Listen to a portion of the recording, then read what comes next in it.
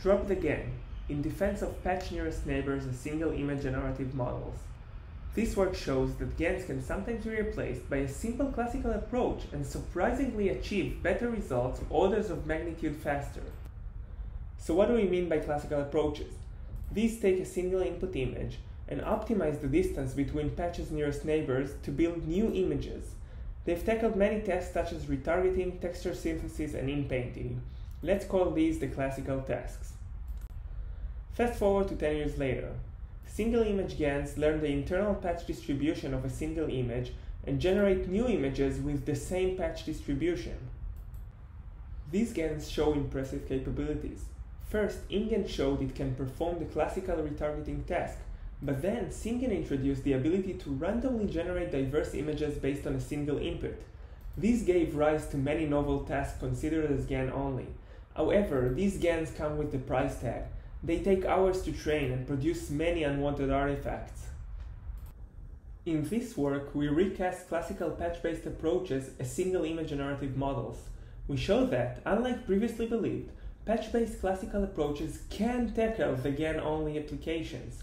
Moreover, they do so with higher quality, while the runtime is reduced from hours to seconds. But how can patches nearest neighbors be used to solve such tasks? Consider the SinGAN architecture a multi-scale GAN with noise injected in the coarsest level. In essence, it outputs an image with patches that belong to the input's patch distribution. But what if we drop the GAN and replace it with a simple patch nearest neighbors module? Now, the output is made of the actual input patches. Diversity is still provided by injecting noise at the coarsest level, practically making the nearest neighbor search random. We call this algorithm GPNN, Generative Patch Nearest Neighbors. But what does this PNN module actually do? Let's focus on a single scale.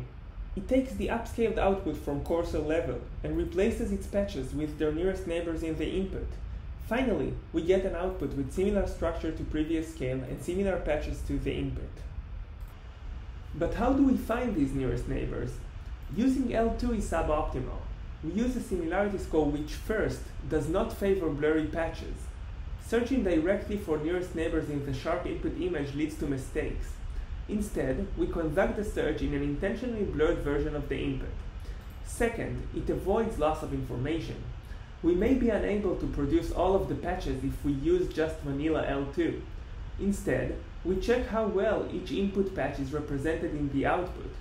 This is simply done by searching for nearest neighbors in the opposite direction and then normalizing by that distance. Finally, the visual information is retained. With this modern take on classical approaches, we can generate images from a single natural input image. It is done fast and produces high quality, diverse images without any neural network in the loop.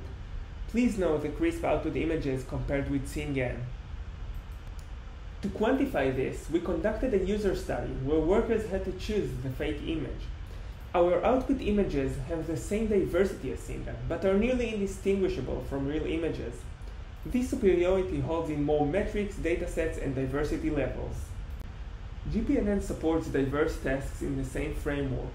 Retargeting, for example. The output keep all the visual information and are also sharp. Structural analogies is also supported in GPNN.